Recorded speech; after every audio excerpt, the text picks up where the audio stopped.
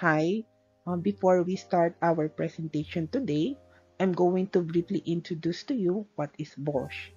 So BOSH is Basic Occupational Safety and Health, which is also the same for OSH, which is stand for Occupational Safety and Health.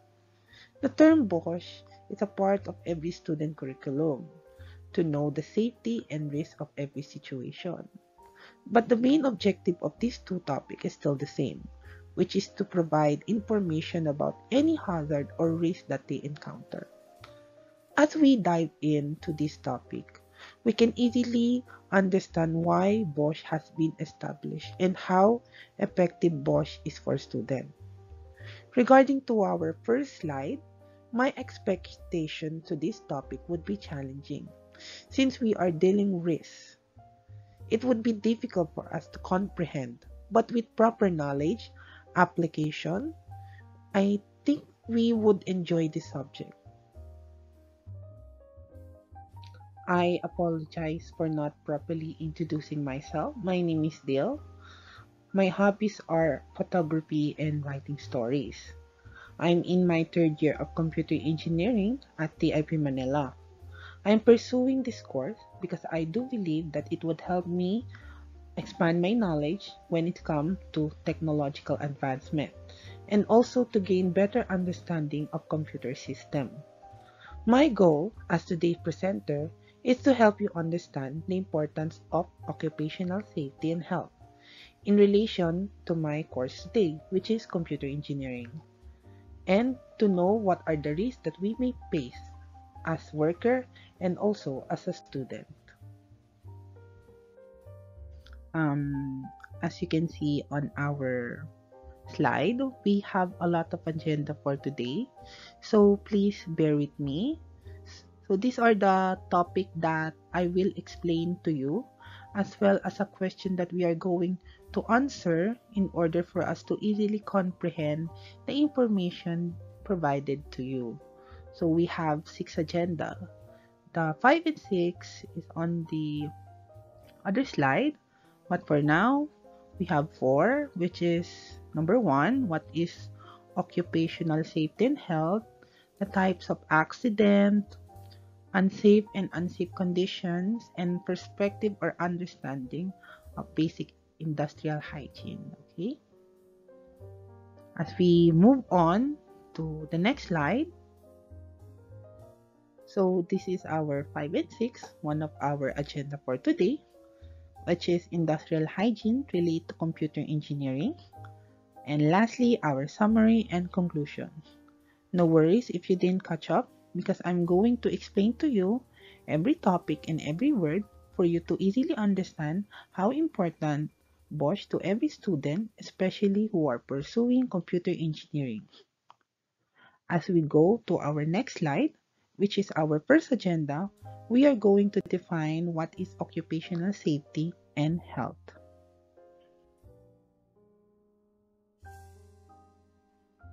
We are now on our first agenda, which is defining what is occupational safety and health or OSH.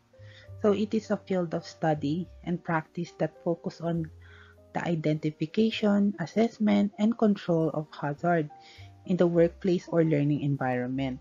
It is concerned with ensuring the well-being and safety of workers and students by preventing accidents, injuries, and illness that may arise from their activities. So OSH is essential because it plays a significant role in protecting workers and students from harm. It helps create a safe and healthy environment where individuals can perform their tasks without being exposed to undue risks. Additionally, OSH enhances productivity and performance by minimizing downtime due to accident or illness and reducing the financial burden associated with workplace injuries and compensation claims. For workers, they have a crucial role to play in ensuring OSH. They must follow all safety guidelines, protocols, and procedure provided by their employers. This includes wearing appropriate personal protective equipment, which is PPE. We are familiar with this um, equipment because it is used to treat COVID patients, especially in the hospital. But with this suit, it can easily preventing hazard or unsafe condition in participating in safety training program. As student, we also have a role to play in OSH, whether we are in a classroom, laboratory, or any other learning environment. We must follow all safety instruction and guidelines provided by our instructor or educational institution. These include handling chemicals and equipment safely, wearing appropriate protective gear, and reporting any safety concern to our instructor or other responsible personnel. Occupational safety and health is a crucial aspect of our lives. As workers and students, it is our responsibility to prioritize safety and health in our workplace or learning environment by following all the safety guidelines, protocols, and procedures. By doing so, we can e create a safe and healthy environment that promote productivity and well-being and success. Now we have easily identify and discuss what is occupational safety and health. We may now proceed in the risks that we may encounter as computer engineering.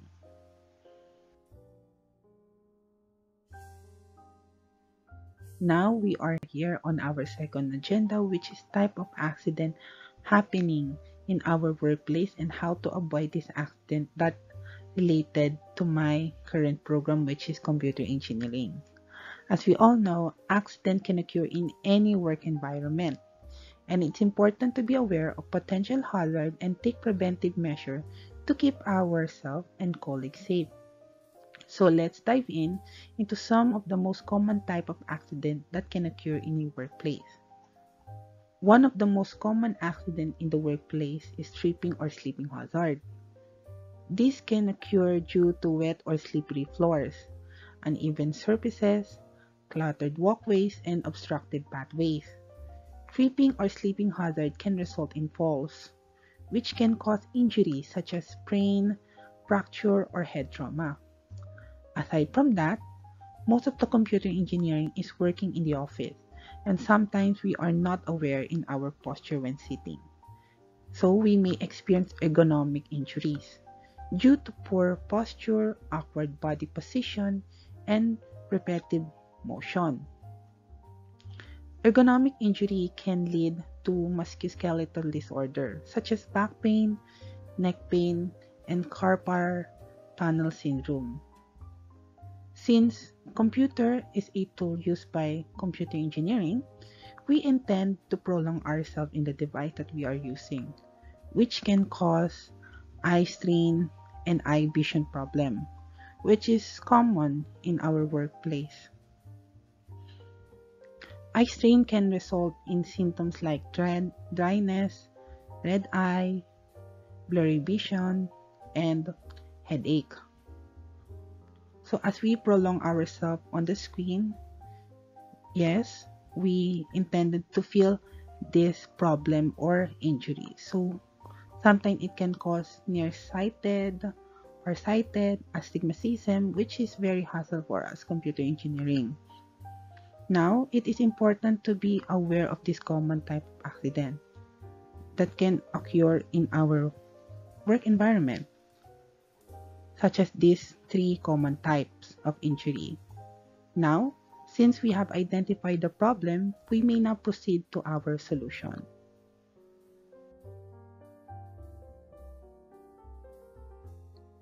Since we have identified the type of accident happening in a workplace, we may now proceed to our solution, which is keeping work area tidy and free.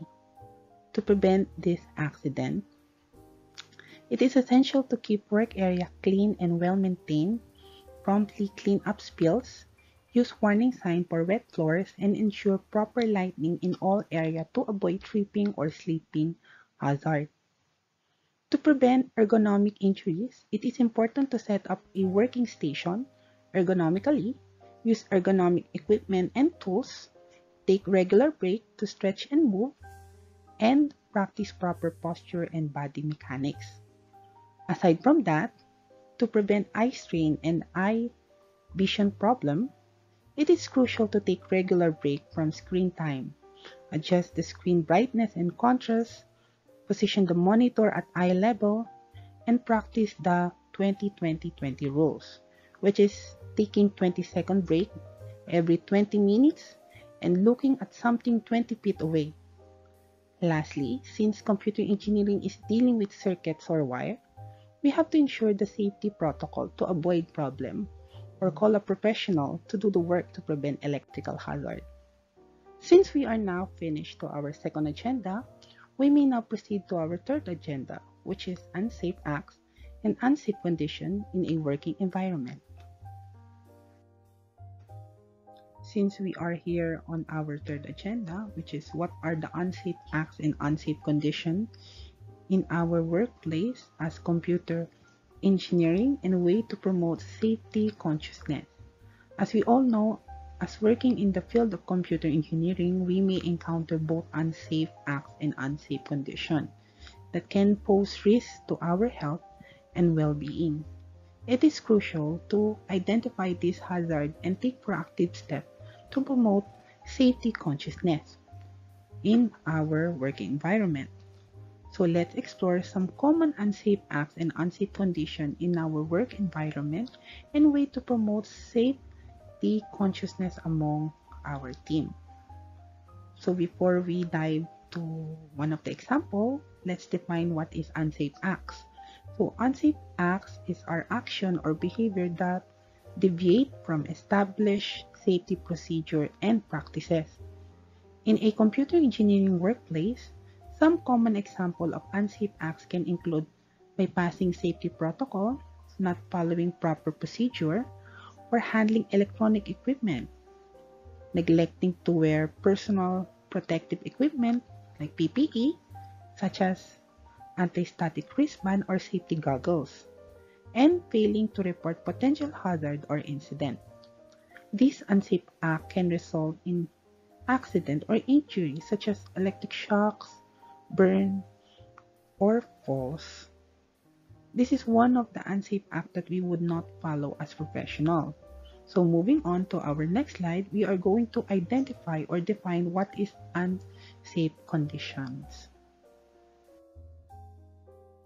Now, unsafe conditions are physical or environmental factors that can potentially cause harm or accidents. In a computer engineering workplace, unsafe conditions may include poorly maintained equipment, inadequate ventilation or lighting, improper storage of hazard materials, cluttered or obstructed pathway, and lastly, inadequate fire protection measures. These unsafe condition can pose risk to our health and safety, and may also lead to equipment damage or data loss. Since we have identified and defined what is unsafe act and unsafe condition, we therefore conclude, as a computer engineering, it is important to be aware of both unsafe act and unsafe condition that may exist in our working environment. We can prevent this act by promoting safety consciousness through training, clear policy, regular maintenance, proper use of PPE, reporting and addressing hazard, working station ergonomics, and emergency preparedness we can create a safer and working environment for ourselves and for our colleague. Let's prioritize workplace safety and work together to prevent accident and injuries. Now, we may proceed to our next slide, which is industrial hygiene, relate to computer engineering.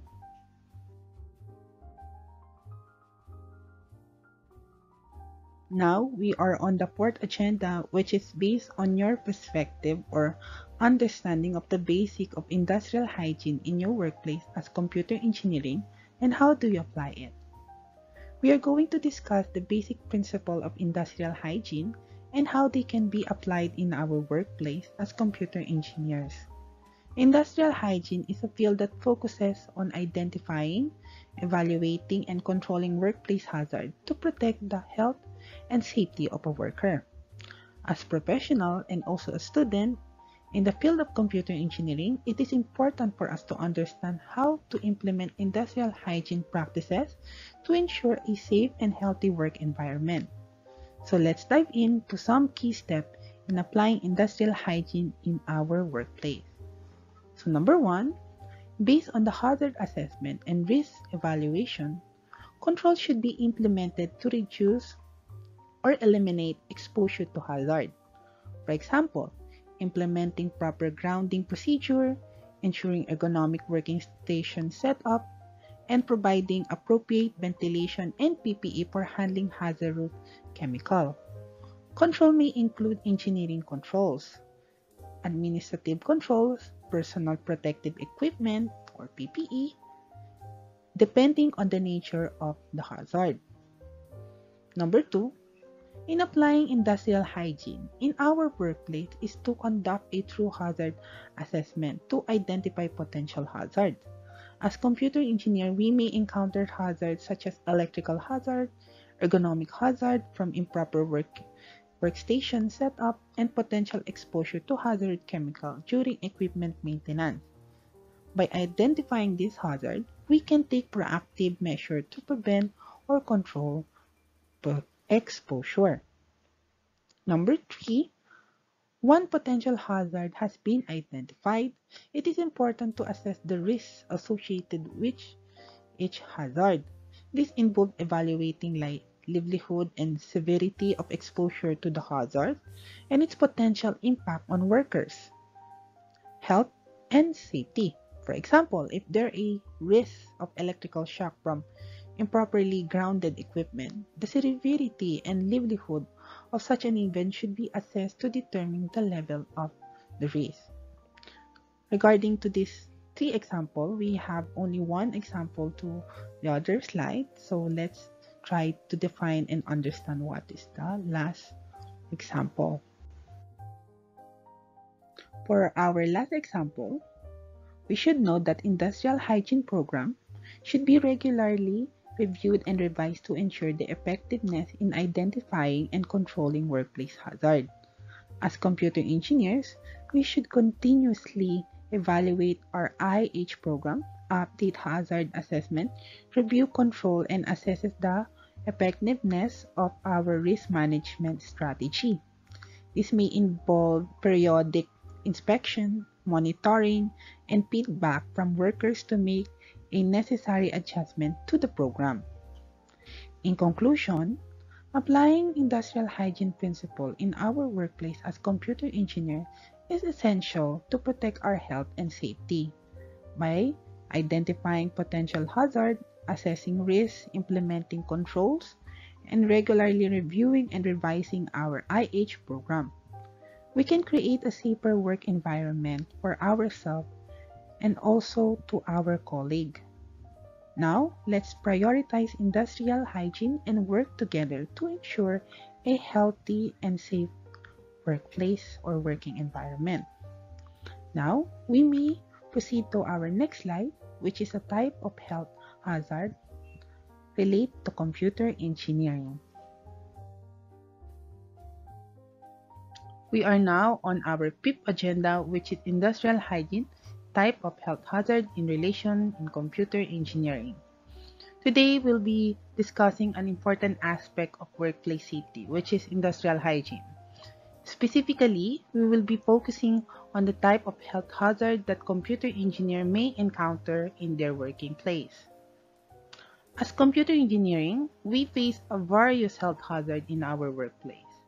One common hazard is ergonomic hazard, which can result from repetitive motion, awkward posture, or sustained sitting. This hazard can lead to musculoskeletal disorder, back pain, or carpal tunnel syndrome. Another potential health hazard is radiation. Many computer engineers work with display monitor or other equipment that emits radiation. which can cause eye fatigue, headache, and even increase the risk of cancer. Now, moving on our next slide. Aside from what I mentioned in my previous slide, we also have electrical hazard, which is also prevalent in our working field. Working with computers involve dealing with electricity and hazards such as shocks or burn which can occur if proper safety measures are not followed. Aside from that, we also have chemical hazard which is also present in our working place, depending on the type of work being done. Computer engineer may come into contact with chemicals such as cleaning agent, solvent, and toner, which can pose risk if not handled properly. As computer engineering, we must be vigilant in identifying and managing health hazards, especially in our working place. By being aware of the potential risks associated with ergonomic, radiation, electrical, and chemical hazards, and taking appropriate preventive measures, we can ensure a safer and a healthy work environment. Let's prioritize industrial hygiene and work together to protect our health and well-being. Since we have talked about the health hazard, let's move on on how can we prevent and create a solution for this problem.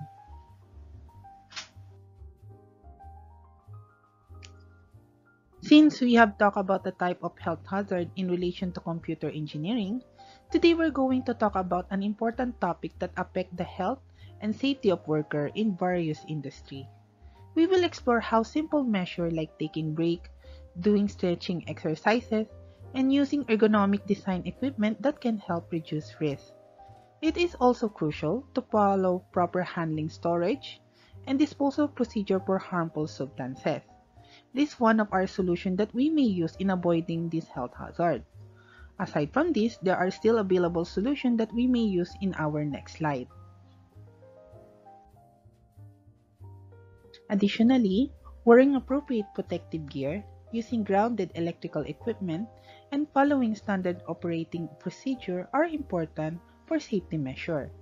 We will also discuss the importance of using protective eyewear and adjusting monitor brightness to reduce risk, just like reporting to a television. As we dive into our conclusion, industrial hygiene plays a crucial role in ensuring the health and safety of a worker in a various industry. By implementing these measures, we can minimize risks and create a safer working environment. Since we have answered and explained our agenda, we may now proceed to our summary and conclusion. We are now on our last agenda, which is our summary and conclusion. We know BOSH teaches us how to identify and evaluate various hazards in the workplace, including physical, chemical, biological, and ergonomic hazards. Additionally, it emphasizes the importance of risk management to prevent accident and injuries. It provides us with the knowledge and skill to identify and evaluate workplace hazards. These hazards can range from physical hazards such as unsafe equipment or environmental condition to chemical hazards such as harmful substances or gases. BOSH also cover biological hazards such as exposure to pathogen or infectious diseases, and ergonomic hazard which can result from repetitive motion or awkward postures. By understanding and identifying these hazards, we can take appropriate measures to control or eliminate them, thus creating a safer work environment for ourselves and our colleague. BOSH also emphasized the importance of conducting true risk assessment to identify potential risks associated with workplace activities and implementing effective risk management strategy to mitigate or eliminate those risks. Don't be excited yet. We still have our last solution which is on the other side. So let's try to explore. Always remember that BOSH include legal requirements that set minimum standard for workplace safety and health. These law and regulation are in place to protect worker from hazards and ensure that employers provide a safe working environment. By complying with this legal requirement, we can create a safer workplace and prevent accidents and injuries. Let's not forget that effective communication is also emphasized in BOSH. It encourages open and clear communication between workers, manager, and safety professionals. These include reporting potential hazard, discussing safety procedure, and providing training and information to all stakeholders. By promoting effective communication, we can enhance awareness, collaboration, and understanding of workplace safety and health. Since this is our last slide, we hope that you learned so much about BOSH in relation to computer engineering. Hoping you will take this knowledge on future work to help yourself and the people around you. All I can say is, Padayon engineers, we wish you good luck.